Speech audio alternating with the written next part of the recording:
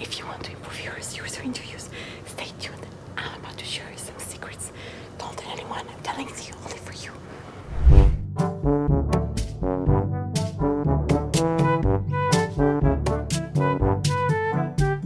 Steve Jobs said, the broader one understanding of the human experience, the better design we will have. At Red, we do user interviews as a routine. Through time, we learned a lot, like a lot, a lot, okay? What is working, what isn't working, and in this video, I am going to share with you some of our secrets and also the templates we use. Preparation! You need to understand the goal of the interview session.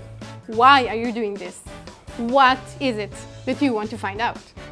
It's really helpful to have a script that you can look at, especially if you're not a seasoned researcher. The script should be relatively simple and short. In general, we try to keep the interview less than an hour, not to exhaust your interviewee, nor yourself. We like to work in teams of two people. One is interviewing and the other one is taking notes. This way, the interviewer is concentrated in listening and the note taker is focused on framing the interview and the insights. We use a predefined template to capture our feedback in a standard way. I will put a link to it in the comments below. We prepare a column for each interviewee and the row for each subject we want to address. We capture positive feedback with green notes and negative in red. Suggestions and ideas are captured in yellow. This gives us a general overview on what worked and what didn't work. Make sure to leave a buffer between each interview so you can have a few minutes to capture your insights while it's all fresh in your head. It's a good practice to capture the user reaction from a prototype, a product, or any stimuli when possible, especially with digital products, where it's easy to create one. In many cases, the most effective user interviews are when you are able to show the user something they can react to.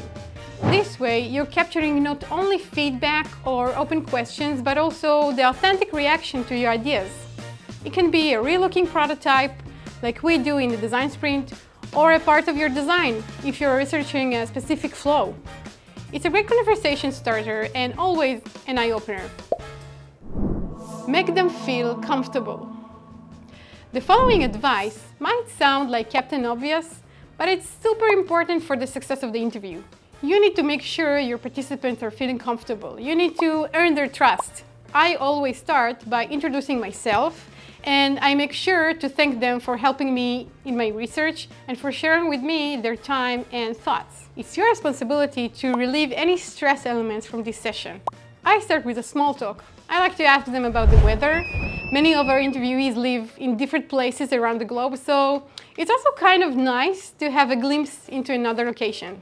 Then I move into general questions about their background. Not too intrusive, but enough to put them in the context of the interview's subject matter. People love talking about themselves. It eases the atmosphere and their defense mechanisms. Especially if it's a remote interview, you need to keep in mind that this person was doing something completely different just a minute ago. You know, like working, spending time with their family, jogging. They didn't have the time to do this mental switch from what they just did to this interview with you. It's on you to help them do this shift, to open a mental door and let them in easily. Another thing that we do at Red is we make sure they understand that we're not testing them. There's no right or wrong here, and they should freely express their mind. Keep track of time. Keeping track of time is important. It sends a message that you respect their time, the importance of the interviewee, and also the following interviewees. Whether it's an in-person interview or a remote one, you should always be there before your interviewee. Everything should be ready for the interview.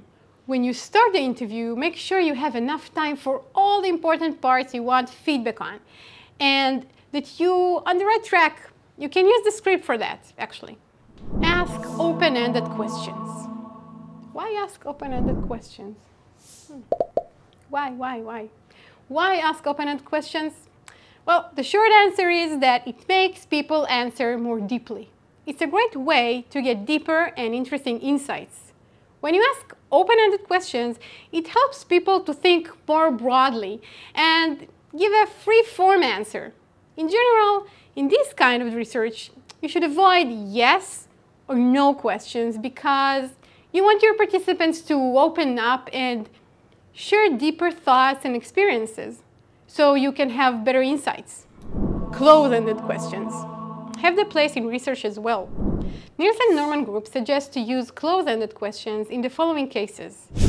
When performing quantitative usability studies, or in surveys where you expect many respondents, when collecting data that must be measured carefully over time, or after you have done enough qualitative research that you have excellent multiple choice questions that cover most of the cases. Don't lead the witness. When you ask leading questions, you influence people with the way they answer the questions and you bias the research. Most of us tend to give pleasing answers and that's not what we want in an interview. When we ask leading questions, we put a lot of information into the mind of our interviewee. For example, if I'll ask my interviewee, would you like this button to be yellow or green? This is a very, very leading question because we frame the answer inside the question. What if both colors are bad choices? Or if I'll ask them, if I'll add this feature, would you pay for this product? That's a leading question since people want to be nice, they'll tell you the answer you want to hear. You need to be cautious with the way you frame the questions. Leading questions might bias your interviewee, and that's not what you're after. In a lecture on the laws of evidence, the famous lawyer Samuel Leibowitz held up a pack of camel cigarettes and asked his audience, is the man riding the camel or holding the halter and leading him? Answers were divided, but no one person in two separate audiences answered that there is no man in the picture on the package. Sometimes silence is a bliss. Humans don't like silences. It makes us feel awkward. As social beings, we like to talk and communicate with each other. It makes us feel connected. You need to know when to pull this silent thing. It's not always easy, but it can be highly effective.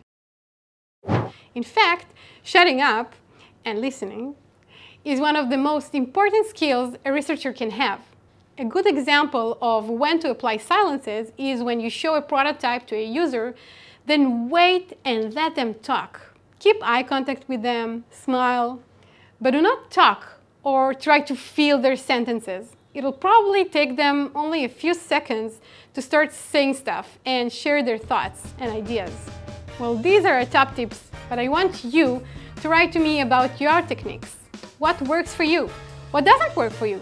Have you got any questions about this subject? Anything you would like us to talk about in our next videos? Please send us your ideas and requests. Let us know what you would like us to talk about in our next videos.